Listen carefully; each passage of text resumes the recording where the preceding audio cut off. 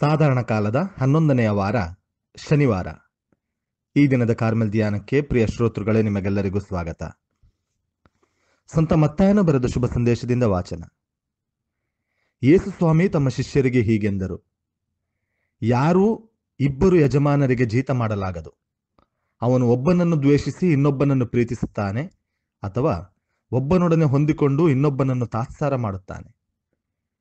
ದೇವರಿಗೂ ದ್ರವ್ಯಕ್ಕೂ ಒಟ್ಟಿಗೆ ಸೇವೆ ಮಾಡಲು ನಿಮ್ಮಿಂದ ಆಗದು ನಾನು ಹೇಳುವುದನ್ನು ಕೇಳಿ. ಪ್ರಾಣಧಾರಣೆಗೆ ಏನು ಉಣ್ಣುವುದು, ಏನು ಕುಡಿಯುವುದು, ದೇಹ ರಕ್ಷಣೆಗೆ ಏನು ಹೊದೆಯುವುದು ಎಂದು ಚಿಂತೆ ಮಾಡಬೇಡಿ.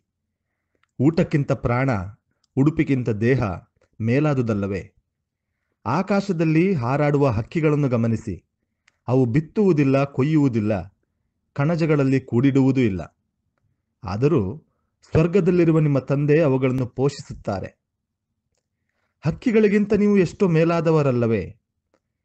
ಚಿಂತಿಸಿ ಚಿಂತಿಸಿ ನಿಮ್ಮ ಜೀವನಾವಧಿಯನ್ನು ಕೊಂಚ ಕಾಲವಾದರೂ ದೀರ್ಘ ಮಾಡಲು ನಿಮ್ಮಲ್ಲಿ ಯಾರಿಂದಾಯಿತು?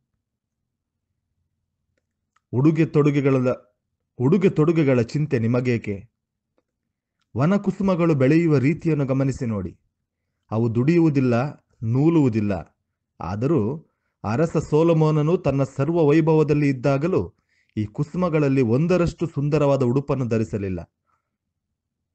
ಅಲ್ಪ ವಿಶ್ವಾಸಿಗಳೇ, ಇಂದಿದ್ದು ನಾಳೆ ಒಲೆ ಪಾಲಾಗುವ ಬಯಲಿನ ಹುಲ್ಲಿಗೆ ದೇವರು ಹೀಗೆ ಉಡಿಸಿದರೆ ನಿಮಗೆ ಮತ್ತಷ್ಟು ಮಾಡಲಾರರೆ? ಆದುದರಿಂದ ತಿನ್ನಲು ಏನು, ಕುಡಿಯಲು ಏನು, ಉಡಲು ಏನು ಎಂದು ಪೇಚಾಡಬೇಡಿ. ಇವೆಲ್ಲವುಗಳಿಗಾಗಿ ಪರಕೀಯರು ಪರದಾಡುತ್ತಾರೆ. ಇವೆಲ್ಲ ನಿಮಗೆ ಅವಶ್ಯ ಎಂದು ಸ್ವರ್ಗದಲ್ಲಿರುವ ನಿಮ್ಮ ತಂದೆಗೆ ತಿಳಿದಿದೆ. ನೀವಾದರೂ ಮೊದಲು ದೇವರ ಸಾಮ್ರಾಜ್ಯಕ್ಕಾಗಿ ಅವರ ಸತ್ಸಂಬಂಧಕ್ಕಾಗಿ ತವಕಪಡಿ. ಇದರೊಂದಿಗೆ ಅವೆಲ್ಲವೂ ನಿಮಗೆ ನೀಡಲಾಗುವುದು. ಆದುದರಿಂದ ನಾಳೆಯ ಚಿಂತೆ ನಿಮಗೆ ಬೇಡ. ನಾಳೆಯ ಚಿಂತೆ ನಾಳೆಗೆ ಇರಲಿ. ಇಂದಿನ ಪಾಡೆ ಇಂದಿಗೆ ಸಾಕು. ಪ್ರಭುವಿನ ಶುಭ ಸಂದೇಶವಿದು. ಕ್ರಿಸ್ತರೆ ನಿಮಗೆ ಸ್ತುತಿಯಾಗಲಿ. ಸೂಪರ್ ಮಾರ್ಕೆಟ್ಗಳಿಗೆ ಹೋಗುತ್ತೇವೆ, ಇಲ್ಲ ಇನ್ಯಾವುದೋ ದೊಡ್ಡ ಅಂಗಡಿಗಳಿಗೆ ಹೋಗುತ್ತೇವೆ. ಅಲ್ಲಿ ಒಂದು ಟಿವಿಯನ್ನು ಕೊಂಡರೆ ಒಂದು ಪುಟ್ಟ ಟೇಪ್ ರೆಕಾರ್ಡರ್ ಫ್ರೀ. ಒಂದು ಮೊಬೈಲನ್ನು ಕೊಂಡರೆ ಮೊಬೈಲ್ ಕವರ್ ಫ್ರೀ. ಕಂಪ್ಯೂಟರನ್ನು ಕೊಂಡರೆ ಅದರ ಜೊತೆಗೆ ಮೌಸ್ ಮತ್ತು ಕೀಪ್ಯಾಡ್ಗಳು, ಇನ್ನು ಬೇರೆ ಬೇರೆ ಅವಶ್ಯಕವಾದ ವಸ್ತುಗಳು ಫ್ರೀ. ಹಿಂದೆ ಇಡ್ಲಿ ಕೊಂಡರೆ ಚಟ್ನಿ ಫ್ರೀ. ಅದು ಫ್ರೀ ಅಂದ ಮಾತ್ರಕ್ಕೆ ಆ ಚಟ್ನಿಯನ್ನು ಮಾತ್ರ ಪಡೆದುಕೊಳ್ಳಲು ಸಾಧ್ಯವಿಲ್ಲ. ಕಂಪ್ಯೂಟರ್ ಜೊತೆಗೆ ಫ್ರೀ ಇರುವ ಮೌಸ್ ಅನ್ನ ಯಾರು ಕಂಪ್ಯೂಟರ್ ಅನ್ನ ಖರೀದಿಸದೆ ಕೊಡುವುದಿಲ್ಲ.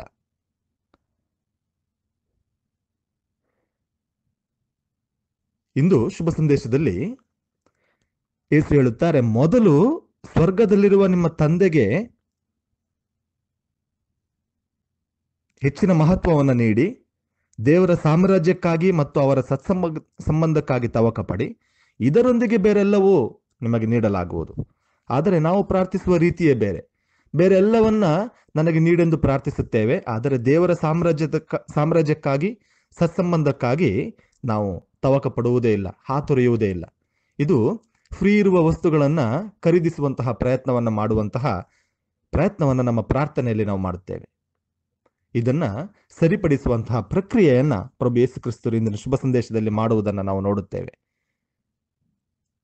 ದೇವರ ಸಾಮ್ರಾಜ್ಯಕ್ಕೆ ಮತ್ತು ಅವರ ಸತ್ಸಂಬಂಧಕ್ಕೆ ಪ್ರಾಮ, ಪ್ರಾಧಾನ್ಯತೆಯನ್ನ, ಪ್ರಾಮುಖ್ಯತೆಯನ್ನ ನೀಡಿ ಎಂಬುದಾಗಿ ಪ್ರಭು ಕ್ರಿಸ್ತರು ಕರೆ ನೀಡುತ್ತಾರೆ.